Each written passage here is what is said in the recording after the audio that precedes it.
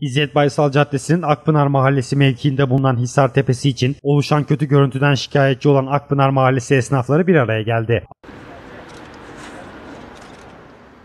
Akpınar Mahallesi muhtarı Mustafa Şengüleç ve mahalle esnafı Bolu Belediyesi tarafından hazırlanan Hisar Tepesi projesine destek vermeleri için Bolu siyasilere çağrıda bulunarak bakanlıkta proje aşamasında bekleyen Hisar Tepesi projesine bir an önce başlanarak Akpınar Mahallesi sakinlerinin mağduriyetinin giderilmesini talep ettiler. Hisar Tepesi önünde bir araya gelen mahalle esnafları adına açıklamalarda bulunan Akpınar Mahallesi muhtarı Mustafa Şengüleç, hizmetin siyasete olmaz diyerek Bollu siyasilere seslendi. Akpınar Mahallesi İzzet Baysal Caddesi de yıllardan beri atıl bir vaziyette olan ve maalesef e, Bolumuz için, mahallemiz için de büyük bir sıkıntı olan arkamızdaki bu görsellik için bir proje hazırlanmış.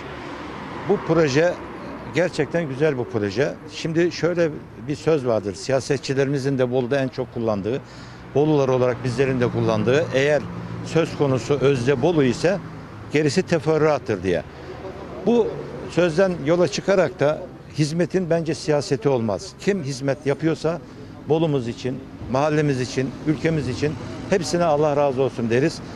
Nedir? Sanat veya eser bırakılır, arkadan hoş seda kalır. Önemli olan bu felsefeyi yaşamamızdır.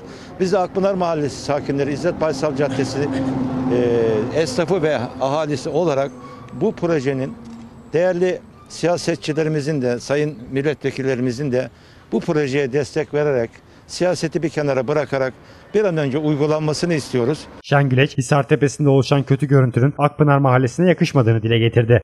Çünkü şu anda eğer e, dikkat ederseniz Bolu'nun en e, böyle e, atıl vaziyete gelmiş bir caddesindeyiz şu anda.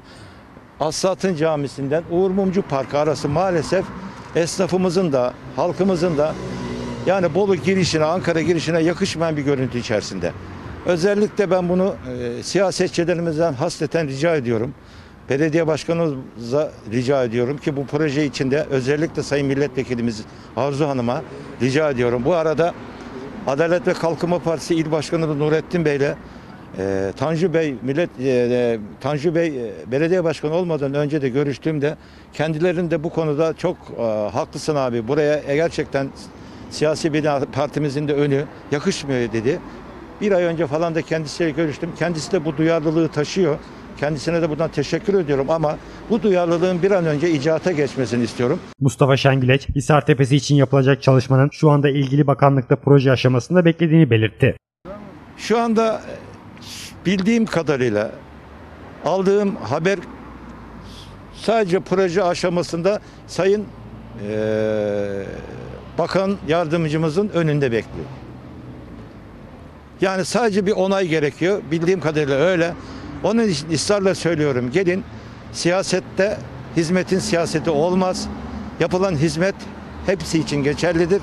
Bu hizmete elini uzatan herkese de teşekkür ediyoruz. Allah razı olsun deriz. Akpınar Mahallesi muhtarı Mustafa Şengüleç, son olarak söz konusu cadde üzerine park yasağı getirildiğini ve esnafların durumdan şikayetçi olduklarını söyledi. Ayrıca burada esnaf olarak yaşadığımız bir sıkıntı da park olayı. Yani esnaflarımızın arabalarına da cezai müeyyide uygulanıyor. Zaten buradaki esnaflarımız kom, e, virüs olayından dolayı da e, sıkıntıdalar. Bu şekilde de hiçbir şekilde 6'dan sonra burası ticarete neredeyse kapanıyor. Yani bu cadde ölü bir cadde haline geliyor. Burada başta belediye başkanı olmak üzere bütün siyasilerimizden bu konuda duyarlılık bekliyoruz.